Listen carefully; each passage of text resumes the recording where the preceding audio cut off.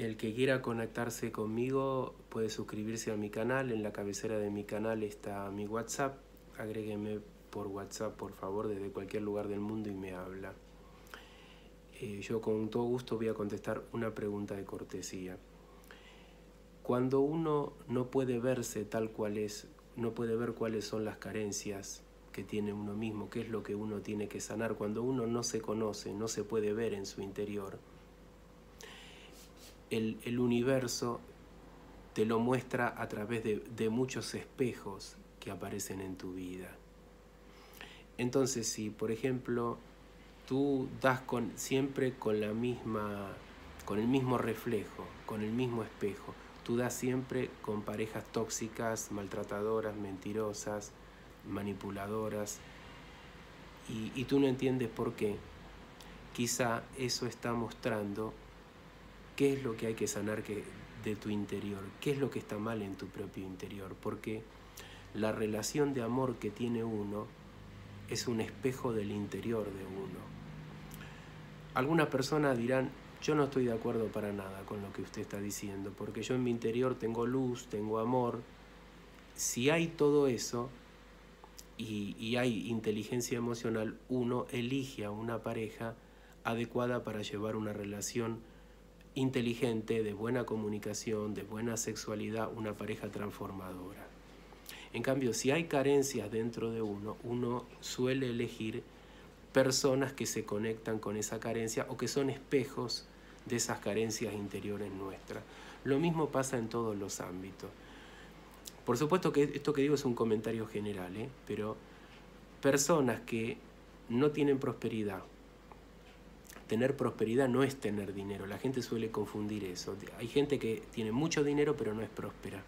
Es una gente que se siente muy, muy pobre interiormente. Tener prosperidad es ser creativo, es tener una buena vibra, es atraer oportunidades, saber aprovechar las oportunidades, vivir bien de manera moderada y por supuesto que esto está acompañado por, por dinero también en una proporción justa. Muchas personas no tienen esa prosperidad exterior porque no la tienen en el interior. Entonces esa falta de prosperidad que dicen Rodrigo, eh, no me alcanza el dinero, se me va entre los dedos, eh, nada prospera en mi vida. Pero recuerden, prosperidad es, mucho más profundo que tener dinero. Eh, nada me funciona, todos los proyectos se me caen. Eso es un reflejo de cómo estás interiormente.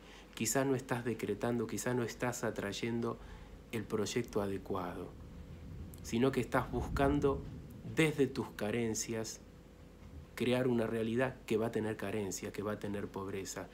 Disculpen si esto parece que no está, digamos, como muy complejo o no está explicado todo lo bien que, que debería ser explicado.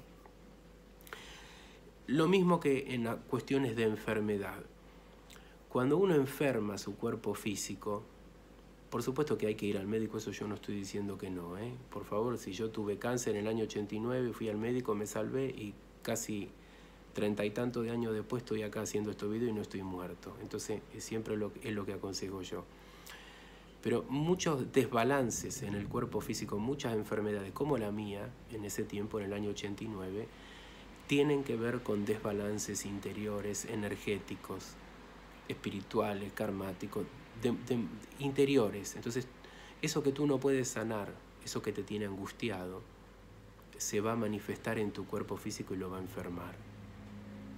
Entonces, ese cuerpo físico enfermo tuyo es un reflejo, es un espejo que refleja tu interior, pero no como un castigo, sino el espejo te muestra lo que hay que curar, a ver si se entiende el punto.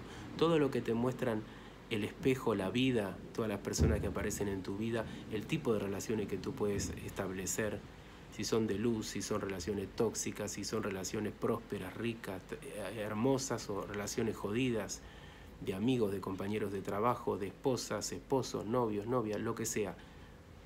El nivel de creatividad que tú logras, toda una expresión de lo interior. Por supuesto que alguno en este punto que está acostumbrado a otro tipo de brujo dirá, ¿y esto qué tiene que ver con la magia, Rodrigo? Es que la magia es el arte de transformar la realidad. Y si tú no ves en el espejo de la vida cómo está tu interior y no lo puedes transformar, nunca vas a transformar tu exterior.